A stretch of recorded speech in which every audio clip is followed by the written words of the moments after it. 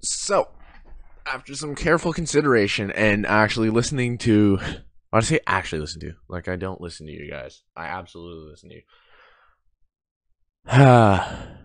Great way to start this video. What's up, guys? Chicken Tendie Gaming here. Welcome back to my channel. Today, I think we are going through with it. So, if you're not here for the last video, um, let me adjust my mic here a little bit. All right. So, if you weren't here for the last video, uh, I was debating, um, you know, doing a redesign of my entire channel. I'm gonna go through with it.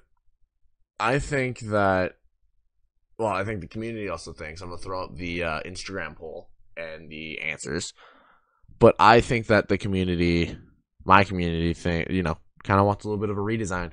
I've kind of stuck with the same logo for the longest time. Uh, but this one new, this one is new, and it looks really, really good. If I do say so myself. Uh, so with that being said, can we get a you know lights out? I I, I said lights out. Okay, good. Uh, now can we get you know some drum roll? Ladies, and gentlemen, and everything in between, this is the new logo.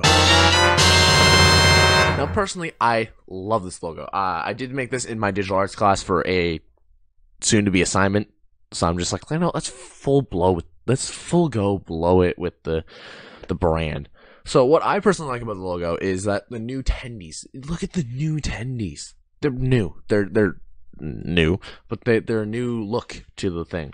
We got just a GameCube controller that's an S SNES controller. I don't play a lot of Nintendo, but like it just worked. It was nice clip art. It's see through. That was the main thing. Uh, and then it says Chicken Tendie Gaming in the classic gold and blue. Now this blue's a little bit faded. That's kind of what I wanted to give it a little bit. Uh, but I think overall it is a better logo, and people see oh CT Gaming. Who's CT Gaming? No, now you know it's Chicken Tendie Gaming. It's understandable. Now I may or may not come bring back the old logo. Uh, that is something I do need to think about, or if I do want to touch on it a little bit. But if you have a photo of the old logo, that is vintage. So, with that being said, thank you guys so much for watching. This again, this is not my video for the week. These are just little Q&A videos of things that are on my mind. So I'm like, screw it, why not? So yeah, thank you guys so much for watching. Uh, again, if you like the video, why not subscribe? If you're excited for the new logo, hit the like button. Uh, and with that being said,